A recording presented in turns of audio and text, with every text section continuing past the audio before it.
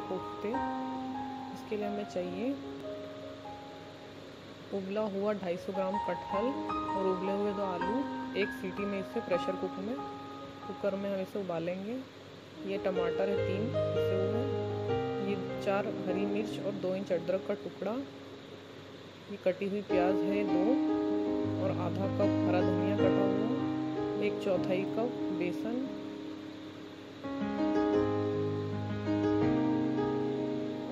कटहल जो है, हमें इतना इसे ऐसे उबालना है कि सॉफ्ट हो जाए, बिल्कुल।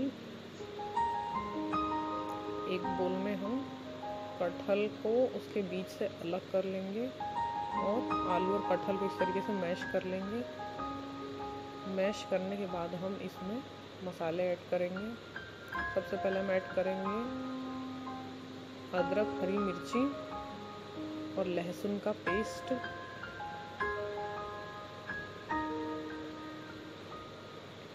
इसमें हम एक बड़े चम्मच अदरक, लहसुन, हरी मिर्ची का पेस्ट ऐड करेंगे। और अब इसमें ऐड करेंगे हम हल्दी। ये हाफ़ टी स्पून हल्दी।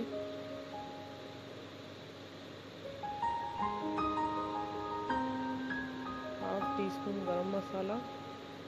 One teaspoon coriander powder. Cumin seeds half teaspoon और salt as per your taste या half teaspoon salt और अब हम इसमें डालेंगे बेसन एक चौथाई कप बेसन और थोड़ा सा कटा हुआ हरा धनिया डालेंगे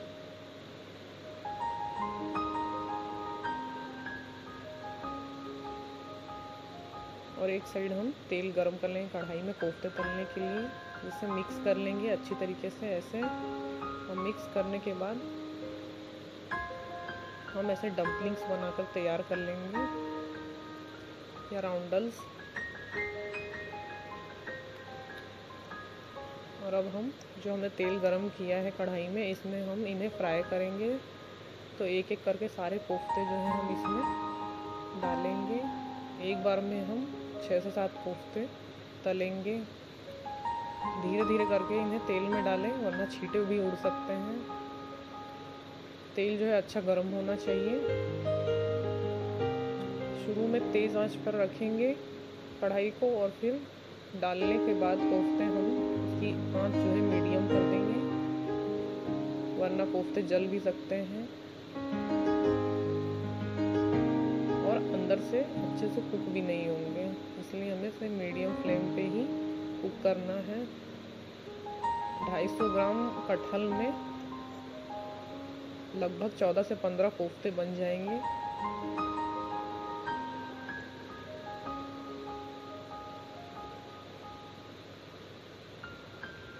अगर हमें कोफ्ते का बैटर एक चौथाई बेसन, एक चौथाई कप बेसन मिक्स करने के बाद गीला लग रहा है तो हम इसमें थोड़ा सा बेसन और ऐड कर सकते हैं ऊपर से। पर बहुत ज़्यादा बेसन ऐड नहीं करें, नहीं तो हमें सिर्फ़ बेसन का ही टेस्ट आएगा। ये हमने सारे कोफ्ते गोल्डन ब्राउन करके निकाल लिए हैं। अब एक कढ़ाई में तेल गर्म किया है हमने, दो बड़े चम्मच इसमें one and half teaspoon cumin seeds डालेंगे और ये पिंच ऑफ़ हींग डालेंगे। इसे एक से दो मिनट फ्राई होने के बाद में हम इसमें प्याज डालेंगे। सारा कटा हुआ प्याज इसमें हम डाल देंगे और इन्हें लाइट पिंक होने की तक फ्राई करेंगे।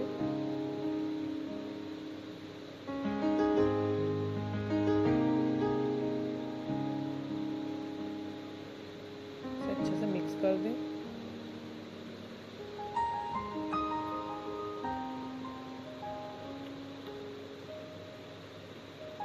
मिक्स करने के बाद और थोड़ी देर फ्राई होने के बाद हम ये बचा हुआ पेस्ट जो है, अदरक, लहसुन और हरी मिर्च का तेल में डाल देंगे। और इन सभी को अच्छे से फ्राई करेंगे दो से तीन मिनट के लिए। अब हम इसमें डेढ़ बड़े चम्मच डेढ़ छोटे चम्मच धनिया पाउडर, एक छोटा चम्मच हल्दी पाउडर आधा छोटा चम्मच गरम मसाला पाउडर। मिक्स कर देंगे अच्छे से डालने के बाद। ऐसे दो तीन मिनट फ्राई होने के बाद में हम इसमें ये टोमेटो प्यूरी ऐड करेंगे। इसमें मैंने तीन बड़े टमाटर लिए हैं पीसे हुए। अब इसे ऐड करने के बाद हमें इसे अच्छे से कुक करना है। तब तक, जब तक कि तेल मसाले से अलग न होने लगे।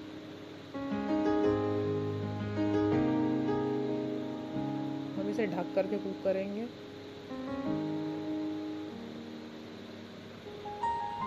ये देखिए, तीन से चार मिनट बाद ये इस तरीके से फ्राई होते हुए इसमें तेल जो है छोड़ने लगा है, मसाला हमारा। मसाला जो है कुक हो गया है।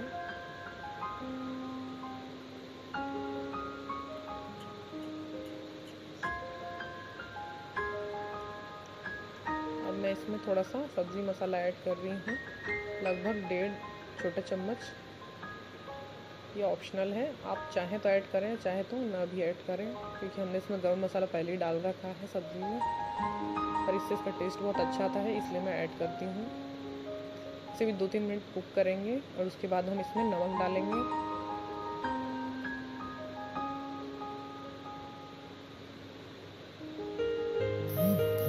करने के बाद इसमें हम पानी ऐड करेंगे। हमें ग्रेवी को जितना थिक या थिन रखना है, उसके हिसाब से हम इसमें पानी ऐड करेंगे।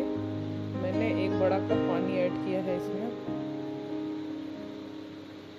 पानी थोड़ा थोड़ा करके ही ऐड करेंगे।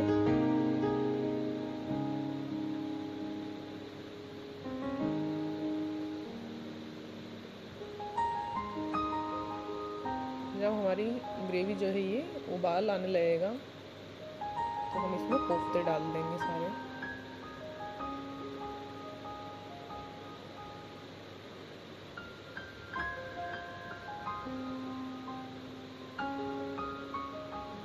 एक एक करके हमें सारे कोफ्ते इसमें डाल देंगे और इसे ग्रेवी के साथ सिर्फ़ हमें एक से दो मिनट के लिए करना है, वरना कोफ्ते टूट जाएँगे। एक दो मिनट कुक करने के बाद हम फ्लेम ऑफ़ कर देंगे और हमारे कोफ्ते जो हैं वो रेडी हैं। ऊपर से हम इसे धनिया से गार्निश कर देंगे। इन कोफ्तों को आप राइस के साथ में, चपाती या पूरी के साथ